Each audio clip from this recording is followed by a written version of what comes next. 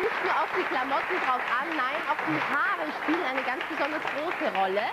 Und Petra ist Hairstylistin und hat ein Opfer auserkoren, und zwar Regina, an der sie jetzt gleich eine 50er-Jahre-Frisur machen wird. Was gibt es denn da für Möglichkeiten? Wie hat man denn die Haare denn getragen in den 50er Jahren, Petra? Ähm, in den ersten Jahren der 50er Jahre waren die Hinterköpfe nicht betont und dann ab der Mitte der 50er eben Rosshaarkissen mit rein.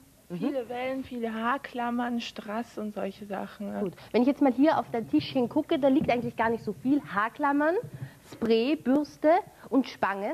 Was du jetzt hier zauberst, das überlasse ich dir. Ich gucke mir Regina dann nachher nochmal an. Vom Make-up her kann ich schon sehen, sind die richtigen Farben schon aufgetragen. Und der unvermeidliche Lidstrich natürlich auch. Petra, was hast du denn jetzt bei Regina frisurmäßig vollbracht? Also es ist alles topiert worden, viel äh, gekleistert mit Haarspray.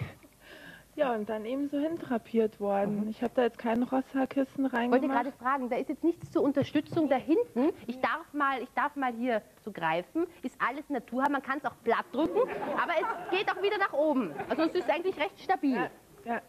ja und das ist eben jetzt äh, eine Frisur Mitte bis Ende 50er und die wurde dann auch in den 60er Jahren mhm. getragen. Ne?